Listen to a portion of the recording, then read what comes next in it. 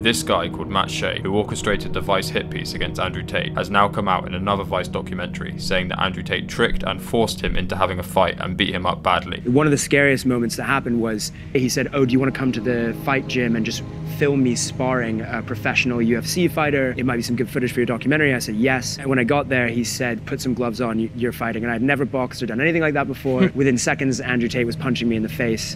Um, and he was like, "Yeah, ten more rounds, let's go. You know, you're, you're in this well." And I sort of was like, "Can I fight someone my own size?"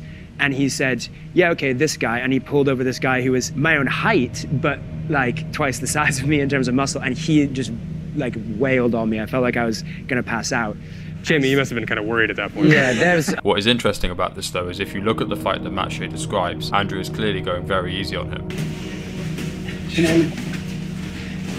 Punch me. Knock out. Fine. Oh, look like you're bleeding already. It's only round one. We've only warmed up. Keep going, bro. We've got 10 more rounds. No fucking way. Men defined by their capacity to inflict violence. What do you guys think of this? And do you think that Andrew Tate will seek some kind of revenge for what Matt has said about him once he's out of jail?